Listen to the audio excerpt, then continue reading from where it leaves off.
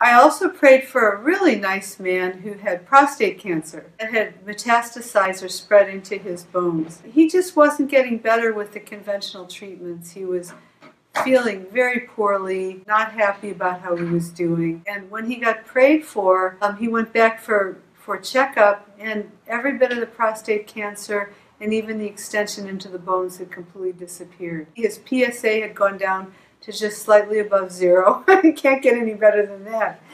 And when the only thing that was bothering him, he told me, was the medication that the doctor had him on. Medication, he said, it made him feel like 5,000 years old. He was only 50 years old. He felt like he was maybe 10,000 years old. He felt really badly. He said every muscle in his bone ached and it made him tired and grumpy. And he said the medication was a real problem. I said to him, I think you should talk to your doctor. Was it a bit of a, a conflict with the doctor over this? And finally, the doctor took him off all the drugs. And I saw him this week doing ministry not only was he feeling great, he looked fabulous. He looked wonderful. And he was so happy and he said, I'm off all medication. He said, all the side effects are gone. No more tiredness, no more muscle aches, no more pain. And he said, I feel great. And his PSA had gone down even more. So he's in fabulous shape. And I just love sharing these testimonies with you because that's what the medical ministry and the spiritual healing can do for you.